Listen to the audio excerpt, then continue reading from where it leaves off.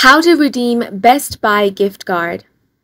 Hi guys, welcome to our channel. Let's begin. First of all, you want to open up any web browser, then head over to bestbuy.com. Once you're here, you first of all want to log into your account. After you have been logged in, you want to explore the website and open any product that you want to purchase. For example, this one. Now scroll down and click on any specific details, then click on the add to cart option.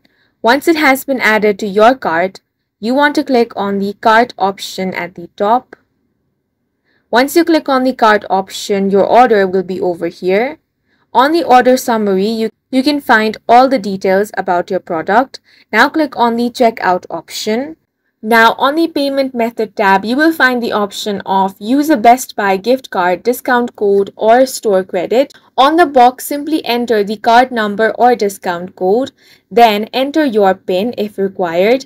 Now click on the apply option and that gift card amount will be applied.